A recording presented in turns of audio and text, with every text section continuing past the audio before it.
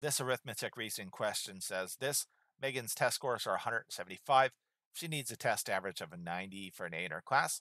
What is the lowest she can score on her final test? So she wants an average of a 90. And so far, she scored a 100 as well as a 75.